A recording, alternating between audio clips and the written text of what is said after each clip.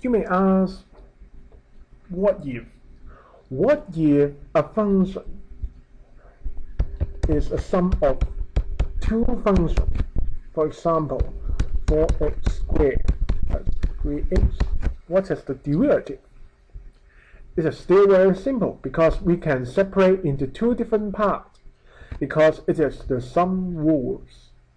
So we can consider um, let's call it another name. I don't want it called A. Let's call it G. G of x is equal to 4x squared. And h of x is equal to 3x. We can we know how to do the derivative of this and this individually. So what we can do is we can just do the, the derivative of those two parts and sum them together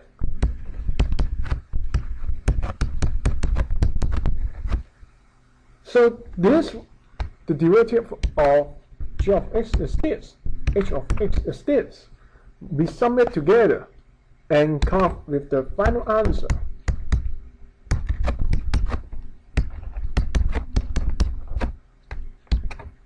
This is the final answer. It's so straightforward and simple.